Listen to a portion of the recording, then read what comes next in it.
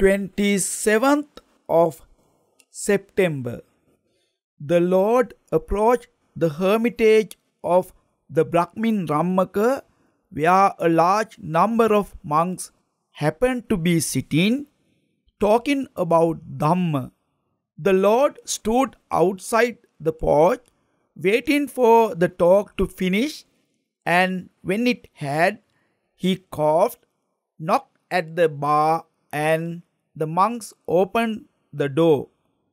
He sat down on the appointed seat and asked, What were you talking about, monks?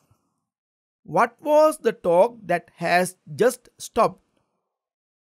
We were talking about you, Lord. It is good for you, who are young men from good families, who have gone forth from home into homelessness, that when you meet together, you speak either about Dhamma or observe noble silence.